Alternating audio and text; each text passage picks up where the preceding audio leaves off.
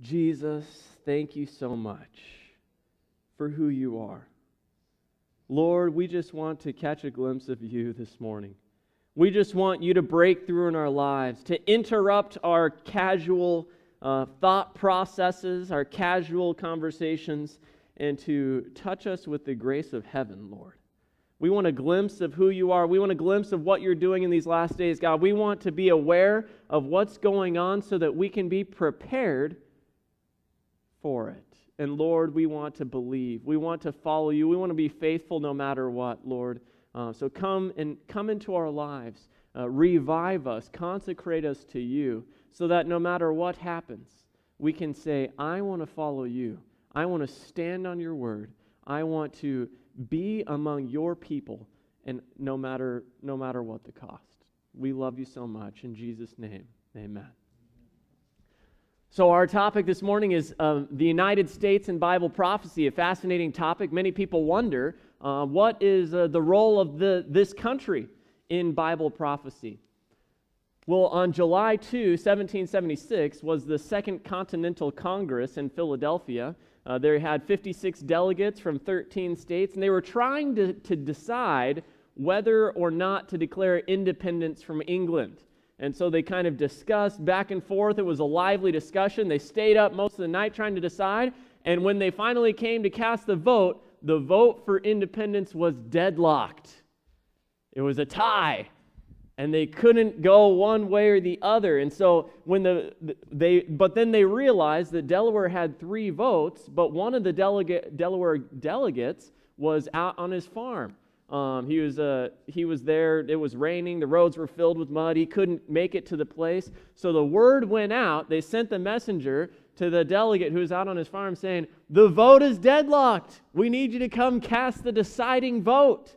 And so that man jumped on his horse and he, and he went for the hours to make it to the Congress there in Philadelphia. And when he came in, oh, and so then he was coming into the Congress to cast the deciding vote. And legend has it that uh, there was a boy who was sent by his grandfather, who was a bell ringer, uh, to check on how things were going at the Second Continental Congress. And, uh, and he said, if, if independence is decided, I want you to tell me so that I can ring the bell. And so he said, okay. So the young grandson runs to the Congress and he finds a crack in the door and he's able to kind of sneak and sneak a peek inside to see what's going on, catch a glimpse of the proceedings. And sure enough, that third delegate from Delaware finally arrived in, came in and cast the deciding vote for independence. And so the little boy ran out to his grandfather and said, Ring, Grandpa, ring for liberty.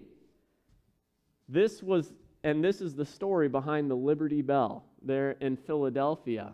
This was the first time a nation was born on the principle of religious liberty.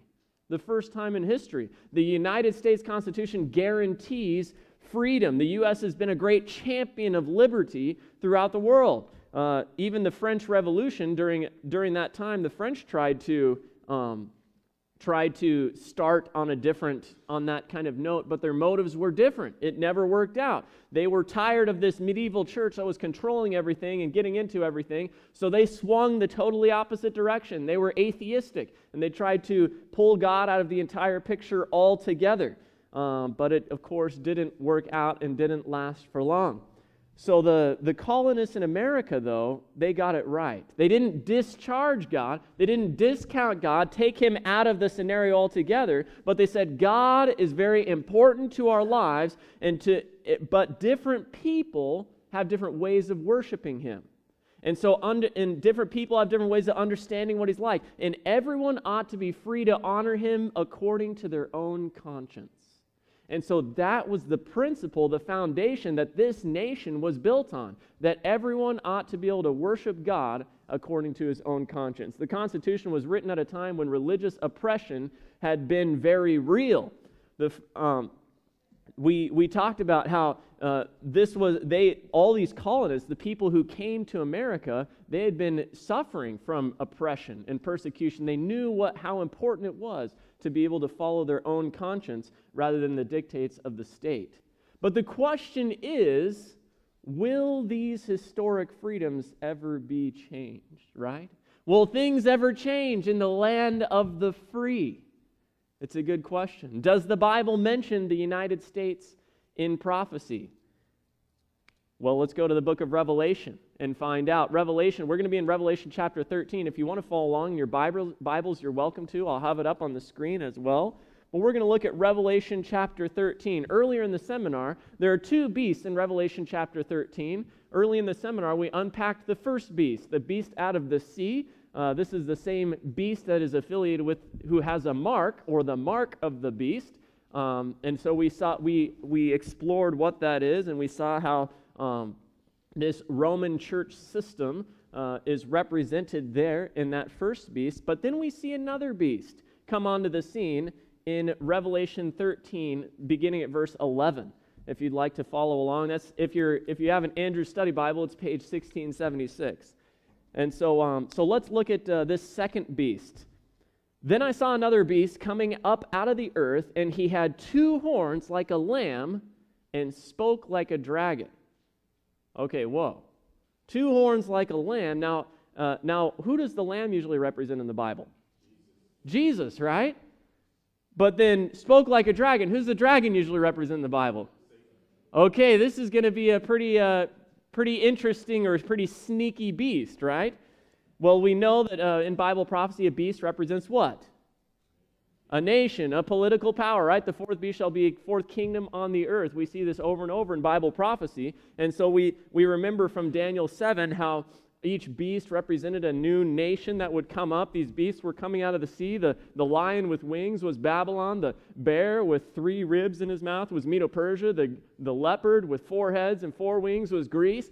The nondescript beast with iron teeth that crushed everyone and ten horns, that was the nation of Rome. So all these nations are coming up out of the sea. They're coming up into uh, being a world empire. And so we see now a new beast is coming on the scene in Revelation 13. And what would this beast be like? Well, there's three questions we need to answer. The first one is where does this power come from? The second one is when does it rise? And the third one is how does it rise? So that's how we're, what we're going to follow in our study this morning. So the first one, where does this power come from? This new beast doesn't actually come out of the sea like all the beasts had before it. The first beast in Revelation 13, all the beasts in Daniel 7, they came out of the sea. This one comes out of somewhere else. So this we see it by contrast. Now you remember the beasts that come out of the sea, what does the sea represent in Bible prophecy? Nations, peoples, right? Many peoples. And so all these other beasts were coming out of these highly populated areas, but now we see something a little bit different. Where does it come from? Revelation 13 11. Then I saw another beast coming up out of the what? The earth. It's a different, it's a different spot, the earth. And so this now we're reminded this isn't the first time this whole uh, idea of the non-populated areas has come up in Bible prophecy. Remember some context here so that we're in Revelation 13 in the chapter before it Revelation 12, it talked about, we studied this together, it talked about the church in the wilderness. How when the, when the church had turned against God, when they'd gone apostate, the true believers had gone into the wilderness or into the non popular, the earth helped the woman. It, they went into an, a non populated area so that they could continue following God. And so, an example was this was a place where there were very few people, a time where people could, um, could study the Bible for themselves without the scrutiny and persecution of the state powers forcing them uh, what to do. And so, uh, so this, is, this is that time when the, when the true people of God went underground. Uh, so, to review Revelation 12 13, this is just the chapter before it. The dragon persecuted the woman, and the woman was given two wings of a great eagle that she might fly into the wilderness into her place, where she is nourished for a time, times, and half a time. Well, what's this time, times, and half a time talking about? This is the same 1260 day prophecy that we see several times throughout Scripture, throughout Revelation. And um, this time, time is a word for year in uh, what, a term that they use for it. There are 360 days there in the Jewish calendar. And so when you look at one year, 360 plus two years times 720 plus half a time, 180, you get 1260. It's the same prophecy that's mentioned. It's, it's mentioned as 42 months, it's mentioned as 1260 days, it's mentioned as three and a half years, but it's all the same time period. That's when that, basically, when that church, when, that, uh, when the church was totally unhindered and went totally ap- apostate, were persecuting the people of God, and, and were unhindered from basically causing, terrorizing the true people who wanted to follow the word of God.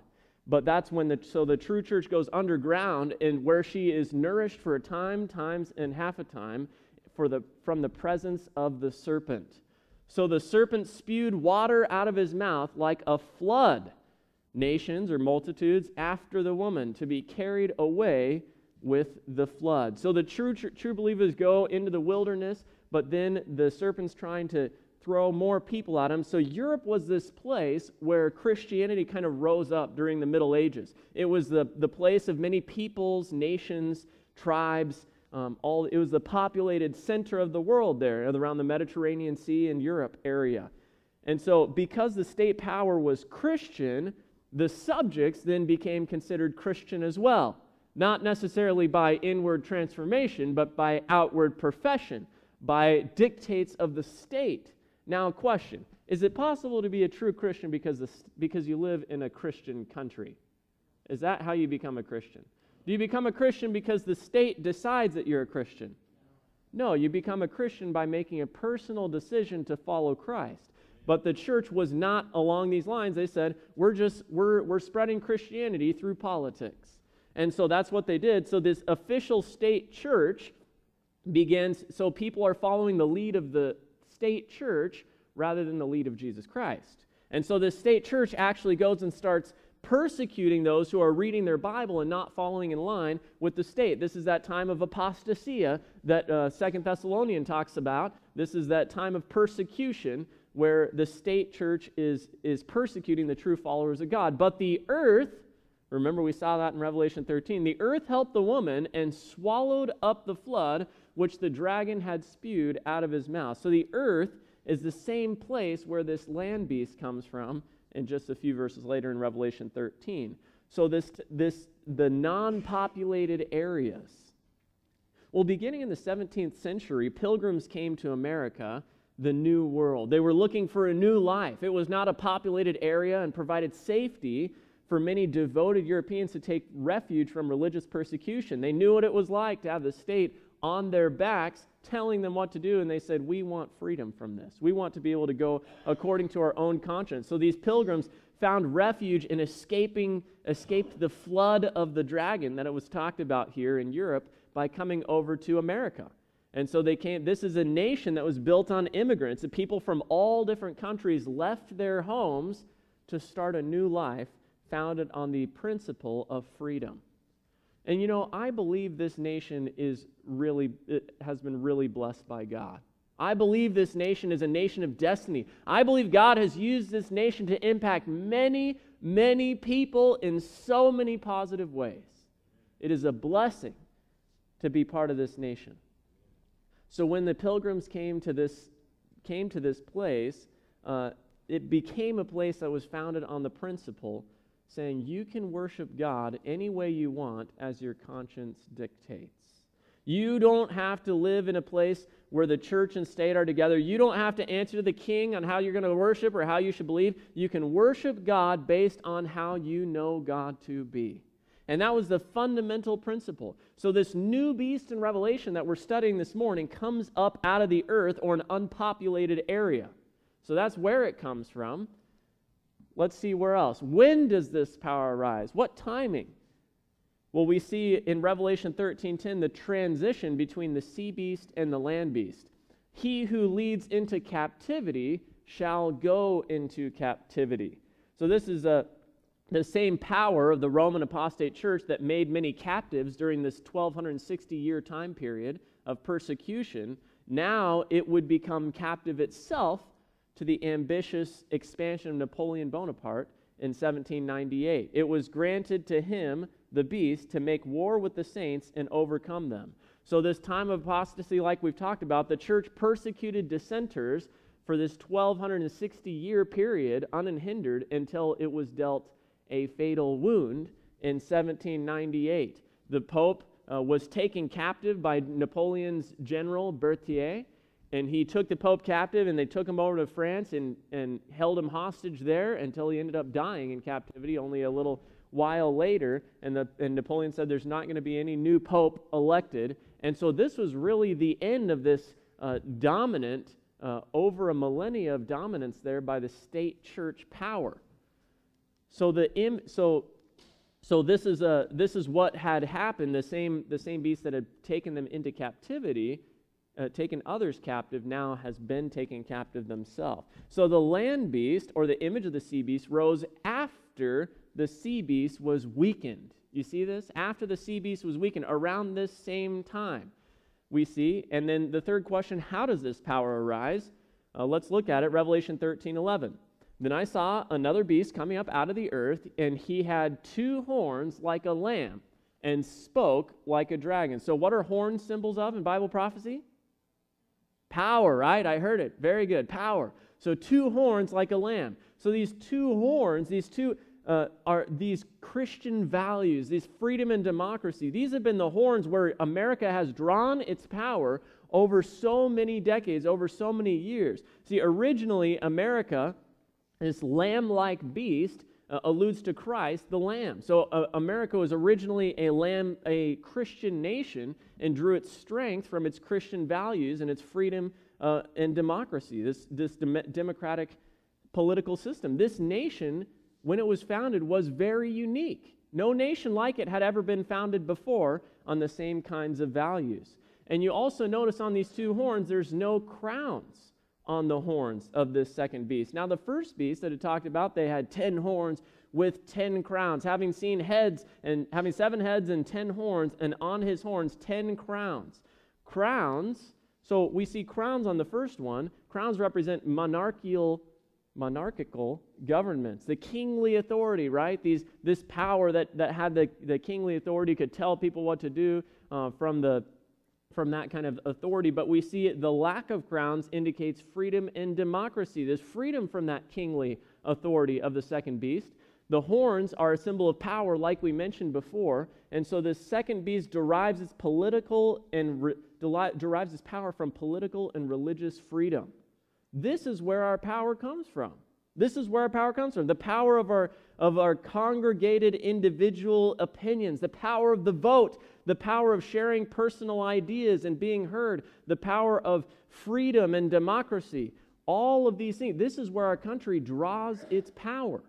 And so, all these, all of which are amazing development of, of the history of society because we have never seen anything like this before in history where a nation was founded like this. Not even Rome in the, in the times of the Senate, not even Greece in their heyday, have seen what this nation has seen in the last 200 years. So, to summarize, the lamb like beast arises as the first one. The, the sea beast is being taken captive. So, let's review a little bit. That's around 1798. So, this is the time frame. Number two, arises in a relatively unpopulated area. Number three, its power would not come from kingly authority. Number four, it would absorb religious freedom. Uh, it would, sorry, it would absorb relig- European religious persecution. So the question is who is the only nation that fits this description? What is the only nation in history that fits this description? You got it, right? You got it. The United States uh, in Bible prophecy. So, so we see the United States of America is the only one. Started at this time, time period, came from the unpopulated area, founded on freedom and democracy. And so uh, George Townsend writes about it this way, a historian says, the mystery from seed to empire, the mystery of her, America, coming forth from vacancy like a silent seed, we grew into an empire. And so we see the rise of the United States, this 1776, the Declaration of Independence, and then the 1783, independence acknowledged, 1787, Constitution framed, 1791, Bill of Rights added, 1798, recognition by France, 1863, the Slave Emancipation uh, Act. And so these, this rise of a new nation is coming into fruition. There are so many people from around all different parts of the world that have come into that New York harbor and seen that Statue of Liberty and, and their hearts have leapt for joy within them, saying, Wow, I have another chance. I have a new life. I have liberty. I've got a new shot at things. That's what this nation has been founded on for centuries. But the question is will liberty be ours forever? I mean, we are the champions of individual rights, aren't we? We are the ones who hold people to the fire regarding individual rights. Will that ever be different in our great nation? Well, according to Revelation chapter 13, things will change. We see a, a, new development here. It's starting at verse 12, Revelation 13 12, and it says, He exercises the authority. This is this lamb like beast, speaking of the United States. He exercises the authority of the first beast in his presence and causes the earth and those who dwell in it to worship the first beast whose deadly wound was healed. So we see a resurgence of the first beast, this Roman state church system. And so we're we see now this, this land beast is causing all who dwell on the earth to worship the first beast. He performs great signs so that he even makes fire come down from heaven on the earth in the sight of men. And he deceives those who dwell on the earth by those signs which he was granted to do in the sight of the beast, telling those who dwell on the earth to make an image to the beast who was wounded by the sword and lived. So, what is the image to the beast? What is the image of the beast? Well, an image is what? It's the, a likeness of something. It's something reflecting the substance. When you look in the mirror, you see an image of who you are, right? Now, it's not the real thing. You can't reach out and touch you, but it's an image. It's reflecting who you really are. So, this is an image to the beast. So, we remember the, the, the sea beast is papal Rome, this church state union. This is what made it so uh, diabolically problematic and so then we see the second beast in Revelation 13 is this land beast or America, and we see it will now it will become a church state union. And so but you may protest. Wait a second, America believes in what? Separation of what? Church and state, right? But the truth is that that wall between church and state is crumbling. And if you pay close attention, you can even see that little evidences of this happening along the way. There's many, many evidences of it, uh, but here's just one significant example. Uh, on June 18, 2015, a papal encyclical to everyone, not just Catholics, on climate change, uh, he admonished Sunday rest to aid the situation. So normally, uh, papal encyclicals circulate among the faithful or among the, the the, just the church members, but this one was addressed to everyone in the world, not just Catholics. And so the Pope, he suggests we ought to have Sunday rest. We ought to have a global or national Sunday law or Sunday rest in order to help climate change around us. Well, how did America respond to this kind of a, an idea? Well, President Obama roundly supported the Pope's encyclical. He said, This is a great idea. This is, uh, I, I, think, I think you, you're onto something here. So, church and so that's just one of many evidences we see of this gradual shift. The wall between separation of church and state crumbling down little by little, or possibly faster than that. The church and state will eventually unite to enforce religious practices. But the truth is that revival in our nation won't come by legislation, but by personal consecration to Jesus and His Word. We want revival, don't we? We want that. This is why this is why people want to make laws to make us more Christian. This is why people want to make laws to make us follow God. Uh, this this whole state to enforce this whole statement: one nation under God. But the problem is when you legislate that, you get into deep trouble. The same trouble we experience in history. Those who do not learn from history are bound to repeat their mistakes. So it's not so it's not forcing your neighbor to go to church but it's surrendering. Revival doesn't come by forcing your neighbor to go to church. Revival doesn't come by legislating Christian values. Revival comes by personally surrendering your life to Jesus Christ and His Word and inviting Jesus to work in you and through you and in spite of you on behalf of others. That is true revival. That's the revival that God calls all of us to take part in. That's the revival that is needed in our nation is personal transformation and consecration to Jesus. Does the Bible give any indication of end time events in light of this union, this union between this papal Rome power and this United States power? Well, yes, it does.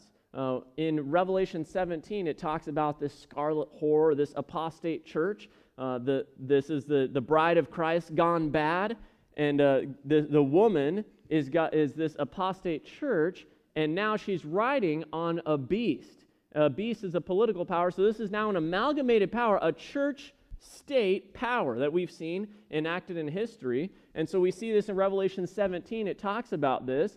And then in Revelation 18, we find the judgment sent to Babylon and the reasons why. So, events surrounding this union, this church state union, and its affiliates and partners together, uh, we'll just go rapid fire through some of them in Revelation 18. Her sins have reached to heaven. Now, you tell me, do you think that our nation is becoming more and more wicked, or that our nation is becoming better and better people? What do you think?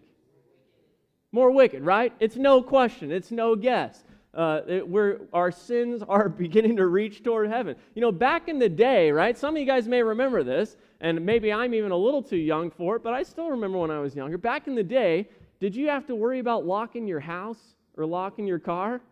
I mean, you could just leave your place unlocked and come back to it a week later and no big deal. Do you do that today? Things have changed, haven't they? Things have changed dramatically in only a few years. We see that happening. Number two, she has lived luxuriously. Does that describe us or what? Does that describe us or what? This whole, uh, lug- we have lived luxuriously. We've lived like kings in our country. We have nothing to complain about. We have nothing. Simply being born into this country's culture and society, even the lifestyle of people who are, are in the lowest sectors of it on welfare or disability, those kinds of things, they would be considered super wealthy in other countries of the world. Even people who have, quote unquote, no money here are rich beyond all belief in other nations. We have lived luxuriously. Half of the world's population lives on less than $2.50 a day. We have nothing to complain about. We live as kings in this world. Go on a mission trip sometime and see for yourself. Get that different perspective. Let God open your eyes to how most people live around the world. I remember spending eight months in Cambodia, uh, one of the poorest countries in Southeast Asia, and um, and it was it was pretty profound. I was working there at a Seventh-day Adventist school and orphanage. I was teaching English and Bible classes, and um, and the other I was volunteering there. The other local Cambodian teachers that worked at the school full time they would get paid $100 a month as their salary. $100 a month. And that was enough to live on over there. Uh, it was inexpensive to live just because of the low economy. But think about it. Most of them will never own a, a car in their lifetime. So, by the fact that I owned a car, made me super wealthy. Top tier of society, way out of their league that they could ever even grasp. Even if I felt like I, even if I thought that I only had a few bucks in my pocket. And so we here are, have it, so, we are so rich. We are so luxurious. No matter how much money we think we have or don't have, we are in the top, top tier of the world in wealth and lug- luxury. We have it very good here, but this describes us, doesn't it? We've lived luxuriously. She experiences natural disasters. Aren't we seeing more and more of these? More and more natural disasters, more and more of these kinds of things taking place in our country. God's judgments fall. God's judgments fall. We're recognizing that there's more and more unrest, there's more and more protest, there's more and more disunity. You remember Occupy Wall Street that happened a few years ago? Basically a movement with, with no organization sprung up people of all different walks of life with no real uh, structure to it came together for this protest movement that would receive global attention and last for quite some time. And so there's something in the hearts of people saying something is not quite right that's going on here. Something is not quite right. Her riches come to nothing There are no guarantees, even for uh, even in our investments. In our in our investments, in our 401 our 401k could become a 201k in a in a in a very short amount of time. There are no guarantees in in this country. There's no guarantees, and some people are looking at it and saying, you know what? Uh, we we base a lot of hope on these things, but all it would take is one crisis for everything to change immediately. So, as spiritual decline, natural disasters, social chaos, economic difficulties lead up to expected, they lead up to an expected church and state union. So, all these things will eventually lead this great nation to say, we have to tighten up. For the sake of security, we're going to start taking away some individual freedoms. Now, this actually happened after 9 11. Do you remember that? Anybody, any of you remember the difference between traveling before 9 11 and after 9 11? Some of you guys remember that? It used to be so much easier to travel, didn't it? It used to be so much. Now, I've been to over 30 countries around the world, and every time, the most difficult country to get into by far is my own, my own country. I walk up with an American passport, and it's way harder to get into this country than anywhere else. Things have changed. It, secure, for the sake of security, individual freedoms have been, uh, have been modified or absorbed or adjusted. When we go to the airport, it can turn into an all day affair just trying to get past the security checkpoint now. We've given up some of those conveniences and freedoms for the sake of what? For the sake of security, because it's a matter of security. Think about what would happen with a few more 9 11s taking place. Think about what, what more we would be willing to give up in our freedoms for the sake of security. It's a no brainer. It's not that hard for some of these things that the Bible has prophesied to take place to actually take place. All it takes is a little bit of crisis. Oh, but that would never happen here. Well, before 9 11, no one would have ever seen that scenario taking place, would they? We just don't see it. See, it doesn't matter. See, the truth is that America votes with its pocketbook. It doesn't matter how much we like somebody, it doesn't matter how much we like their ideas. If the economy is going south, out they go and in comes somebody else, right? That's how America votes. And so that means that if we get into if we get into trouble and my lifestyle starts suffering, I want to make a change. Even if it means moving away from individual rights, I'll make the sacrifice because I want to keep the lifestyle that I have. That's the kind of nation that we live in. Our, Arthur Meier Schlesinger, um, he is a, a, historian, he's a specialist in American history, and uh, he actually worked closely with some of the, um, he focuses on some of the leaders of our country, like Harry Truman, Franklin D. Roosevelt, John F. Kennedy, Robert Kennedy. So he's a, a very well known historian, and this is what he writes What makes the current situation worse today is the world faces a spreading recession that will intensify every grievance, every antagonism, every hatred. Hard times sharpen animosity and conflict. People who can't find jobs look around for some other to blame the, the blacks, or the Jews, or the immigrants, or those keeping the Sabbath, for example, we could insert in there. Some group to blame. If the U.S. goes into depression, it will not be a melting pot, it will be a boiling pot.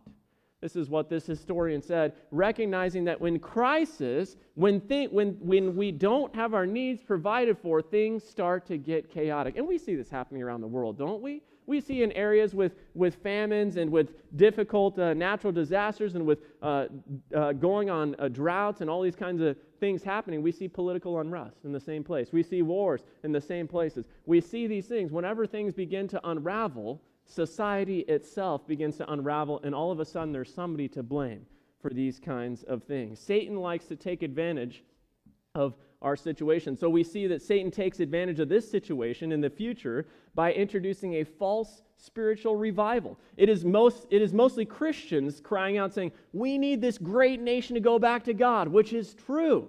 But Satan will re- introduce a revival of false nature, right? We see in Revelation 13, he performs great signs so that he even makes fire come down from heaven on the earth in the sight of men. And he deceives those who dwell on the earth by those signs which he was granted to do in the sight of the beast, So these signs are happening. It's, it, becomes, it becomes this amazing experience, but it's about signs and wonders. It's not about Jesus Christ. See, Jesus warned about people in the time of the end saying it this way Not everyone who says to me, Lord, Lord, shall enter the kingdom of heaven, but he who does what? The will of my Father in heaven. See, I know that there are some here struggling with some of the things you've learned from the Bible here in the seminar. And let me tell you that it is by doing the will of God that we make it to heaven. This is what Jesus himself said. That is where our peace comes from. That is where our assurance comes from. That is where all security can be found when we place ourselves in the will of God, when we yield all to Jesus, when we say, I'm going to follow your truth. I don't know how it's all going to work out in my life, but I'm going to stand on your word. That is where our security comes. That is where our, that's the safest place to stand in a world crumbling down. Jesus continues, Many will say to me in that day, Lord, have we, Lord, have we not prophesied in your name? Have we not cast out demons in your name and done many wonders in your name? These are major things, right? Prophesying, casting out demons, doing wonders. These are pretty significant things. And then I will declare to them, I never knew you. Depart from me, you who practice what? Lawlessness. What matters to Jesus is not all the religious stuff you've done, even if it's of a miraculous nature. What matters to Jesus is whether or not the law, the character of God, is in your heart. That's what matters to Jesus, that we've given our whole lives to him. There are people all over this country who enjoy, uh, they enjoy the, the whole religious experience for the fellowship or for the services, for the entertainment, for the miracles, uh, all these kinds of things. But when they're faced with something in the Bible that they don't agree with, they say, no thanks, and walk away. They have to have the last word instead of letting God have the last word. Are you that kind of Christian? Are you that kind of Christian? Isaiah 8:20 says to the law and to the testimony if they do not speak according to this word it is because there is no light in them. If the devil wanted to unite people religiously, what means would he use? Well, it's a good question. Uh, it's not that hard to find an answer if we just look back in history. What has he done before, right? Well, what means did he use in early Christianity? You may remember back in uh, the early centuries, Constantine became the emperor uh, of the Roman Empire, and he became a Christian, quote unquote. And so, as a Christian, more a good chance of more of a political mover, maneuver than anything. He sees that, oh, all the pagans are worshiping on Sunday, the sun god, and he sees, oh, many Christians are worshiping on Sunday as well. And he says, I got a great idea. It seems like the, it, you know, this, this Sunday thing for the Christians, of course, it's not according to the Bible, but it seems like a, you know, a, a, a good tradition. I've got a good idea. So let's uni- unify them together. Let's all unite together. Let's make a law that says everybody worship on Sunday. And then we're all at the same level. Well, we've already learned that the church was also behind this change from, uh, from Sabbath to Sunday. And so, since it was what many people were already doing, it made it easy to pass, right? Politicians know that if you can only pass something that has support of the majority, right? And so he so he passed it, and so it had this this it was supported by this majority, although to the detriment of the minority. To conciliate the pagans to nominal Christianity, Rome, pursuing its usual policy, took measures to get the Christians and pagan festivals amalgamated, and to get paganism and Christianity now. Uh, now far sunk in idolatry, in this as in so many other things, to shake hands. So the devil's going to do the same thing again. Our nation that was founded on the premise of separation of church and state, but this premise has, has been challenged, is being challenged now for quite some time. Listen to this interest, interesting quotation by the Chief Justice at the time, William Rehnquist. Rehnquist. And he said, the separation, the wall of separation between church and state is a metaphor based on bad history. It should be frankly and explicitly what? Abandoned. This is the Chief Justice of the nation saying this, that it should be abandoned. In 1951, the Congress soundly rejected President Truman's proposal for the U.S. Ambas- for a U.S. ambassador to be sent to the Vatican, right? The U.S. doesn't send an ambassador to the Baptist Church or to the Seventh Adventist Church or to the Methodist Church. And so they said, no, this, we're not going to do this. But then in 1986, Congress easily passed President Reagan's proposal for a U.S. ambassador to the Vatican. We see some of these prog- developments happening. This is the first time, only these past few years, is the first time in history that the U.S. Supreme Court has had a Catholic majority. And so, uh, five out of the nine justices. Now, these people are good jurists. They do, they're, they're, they're there for their job and they're not to impose their personal religious views. Well, I understand that. But every person comes with a package. Every person comes with a history and with an experience, with, with a mindset, with presuppositions that come into this. And we saw, we've also seen, ruling in uh, June 26, 2015, the U.S. Supreme Court rules in favor of same sex marriage. So this was in spite of the fact that most of these justices are Catholic, but the decision would be, and that this decision would be against Catholic doctrine. But the point is, they ruled in favor of popular opinion. Popular opinion. Listen to what uh, John Roberts' dissenting opinion said about this. He said, Petitioners make strong arguments rooted in social policy and considerations of fairness, but this court is not a what? A legislature. Under the Constitution, judges have power to say what the law is, not what it should be. The majority's decision to act of, is an act of will, not legal judgment. The right it announces has no basis in the Constitution or this court's precedent. It is openly relying on its desire to remake society. The point is obvious. The Supreme Court can become activist in spite of the Constitution. We've already seen it take place. History shows the Supreme Court has ruled in detriment of racial minorities. If it can rule in detriment of minorities in the past, it can do it again in the future as well. This is a great country championing individual freedoms, but has actually violated those in various instances in the past. 1857 Dred Scott decision, formal sanction of slavery. No Negro could be a citizen of the United States. This seems preposterous at this time, doesn't it? But yet there was no discussion about it back then. It, it was a no brainer to them. In 1908, Berea College versus Kentucky, the states could shut down private Christian colleges for welcoming Negro faculty and students. Now, this is the wording, this is the wording in the decision. Think about this. Christian schools wanted to be Christ-like. They wanted to be ample. They wanted to be inviting. They wanted to exhibit the character of Christ by saying, We're all brothers. According to Galatians, there is no Jew nor Greek, there's no slave nor free. All are one in Christ Jesus. There's not one that's better than another. All are one in Christ Jesus. We want to embrace you, we want to have you be a part of this. And the state says, You can't do that, or we will shut you down. You see this, this conflict. You're going to be penalized if you do that. Racial minority rights were limited, a clear injustice. And this is, this is a years, many, many years, decades after the Civil War had already ended long ago.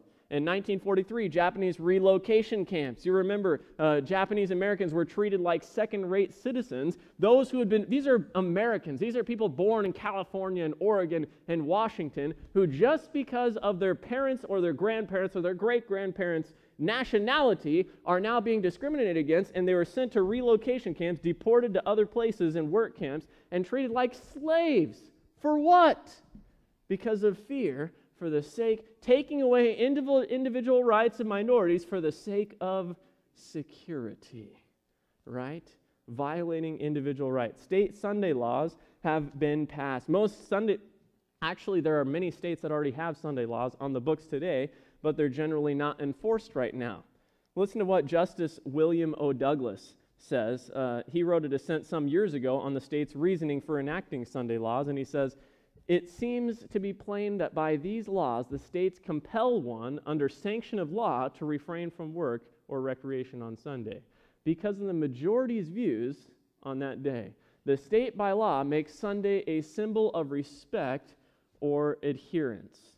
He's saying, so he's saying that just because the majority believes this way doesn't mean that the minority should suffer for it, right? That's the principle that we all want to live by. Revival in our nation won't come by legislation, but by personal consecration to Jesus and his word.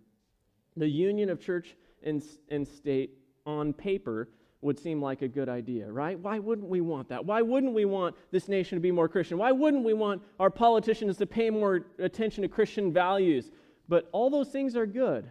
But as soon as you have the state running things and the state legislating things, it will lead to serious problems. Some of you may remember this. I wasn't around yet at that time, but in 1973 74, there was a major oil embargo. Any of you guys remember that happening? So, okay, you guys remember that? Major oil embargo that caused untold misery in millions of Americans needing to get gas. People had to wait for hours just to get some gas there at the, at the gas station. Listen to how Christians responded to that crisis.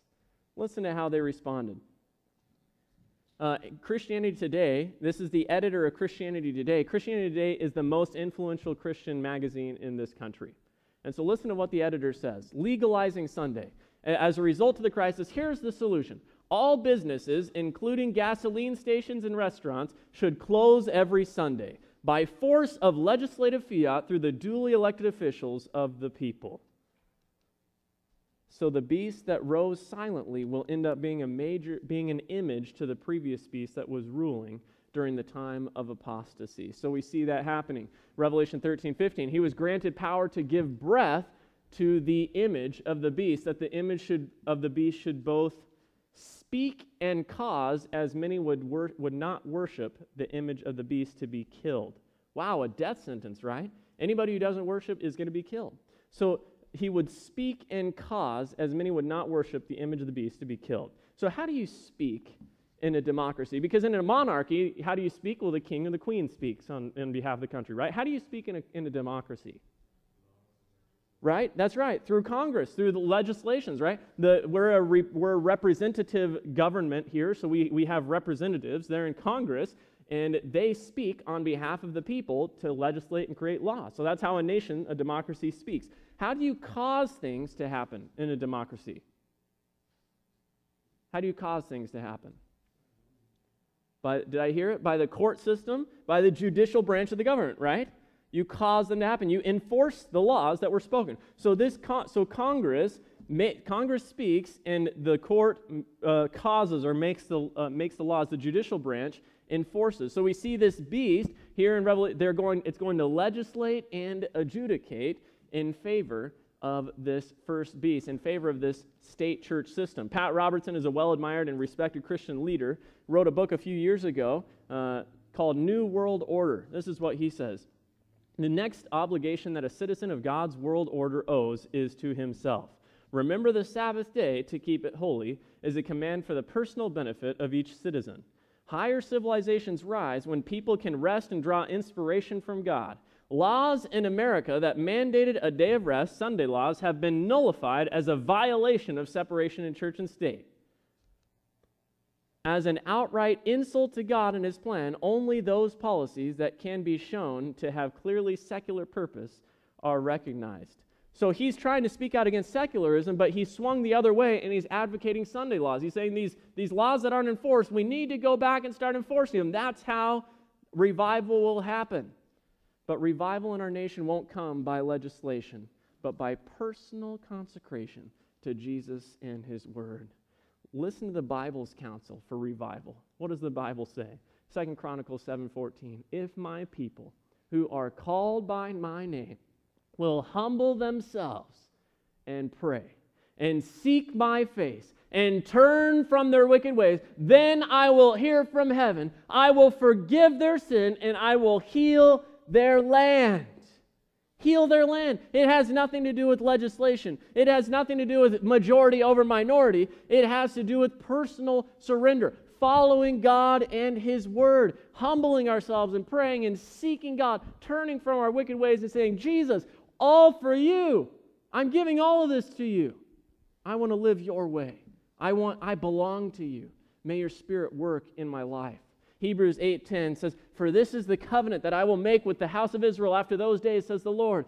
I will put my laws in their mind. I will write them in their hearts. I will be their God, and they shall be my people. When Jesus came, he was trying to move these Pharisees and Sadducees from the letter of the law to the spirit of the law, right? When he came, they were so stuck on the rules, they were so stuck on all these things. And so Jesus comes along in the Sermon on the Mount and he says, You've heard that it was said, these sayings over here. You've heard it was said, Do not murder. But I tell you that anyone who hates his brother, has murdered him in his own heart, from the letter of the law to the spirit of the law. Going even further, you've heard that it was said, Do not commit adultery, but I tell you that anyone who looks after a woman and lusts after her has committed adultery in his heart. So Jesus was moving people. They had all these rules about the Sabbath, and Jesus saying, The spirit of the Sabbath is so much greater. The Sabbath was made for man, not man for the Sabbath. It's lawful to do good on the Sabbath. So the Sabbath is a sign of this love relationship between the Creator and the creation. And so Jesus is saying he's moving us toward that spirit of the law as well. I will write my laws on your minds. I will write my laws on your hearts so that our very desire is to live for Jesus, is to live like Jesus, is to live with Jesus so that He changes us. We've experienced His grace. His grace is transforming our lives, it's changing us into a better person. Those same angry, natural reactions that we usually get to the challenges in our life, all of a sudden, we say, Thank you, Jesus, for giving me patience and helping me treat this person like you would right now. These same situations where we get impatient and upset or impatient, and uh, we say, Thank you, Jesus, for helping me show love just like you would right now. The same situation where we get really discouraged and down and depressed, all these terrible things are happening. We say, Thank you, Jesus. You're with me right now, and that's all I need. That's all I need. I will write my law in your hearts and minds. That's what Jesus promises to his people. As Jesus says, I want to fill you with my spirit, I want to write my laws on your hearts and minds. Thank you, Jesus, for coming into our lives. May you do it more. Thank you, Jesus, for consuming our affections. May you do it more. Thank you, Jesus, for changing our desires. May you do it more. Thank you, Jesus, for victory over sin. May you do it more. Thank you, Jesus, for giving us the courage to follow you no matter what. May you do it more. Jesus understands that following him will not be the easiest thing. And, and in fact, Jesus, it's not like Jesus is saying, you know, what I'm going to ask you to do is actually going to be very difficult. I'm sorry for that. I really am. Uh, but you still need to go ahead and do it. I'm, I'm really sorry about causing you this inconvenience. Does Jesus say that? No, Jesus says, I've got something so much better for you than you have for yourself. My word, I'm a loving, I'm a loving heavenly Father. I'm a lo- I love you so much. I want what's best for you. And you're holding yourself back. You're sidelining yourself from it. So he says, I want to give you this gift. Come with me. It may be challenging, but guess what? It's going to grow your character in the process. And that's what really matters for eternity. And so Jesus says, I'll walk with you. I'll walk with you. I may, I may be asking, you may not have all the answers. You may not know how it's going to work out when you talk to your boss about getting Sabbath off from Friday sunset to Saturday sunset, but you know you want to honor God and you're going to trust Jesus to walk with you through that journey. You may not know how it's going to work out to get that victory over that addiction that's, that's just plaguing you down and dragging you down, but you're going to trust Jesus and you're going to you say, Jesus, I know you don't need this for me. I know you don't want this for me, and I'm going to trust you. I'm going to leave this all behind. I'm going to let claim your victory. Thank you for working in my life. Whatever it is, Jesus says eh, he, he's not afraid of the challenges that we're going to face because when you are with Jesus, you will win. You will win. He's all we need. Revelation 14 12 says, Here is the patience of the saints. Here are those that keep the commandments of God and the faith of Jesus. May our lives be so consumed with Jesus that all we want to do is be like him. Revival in this nation won't come by legislation, but by personal consecration to Jesus and his word.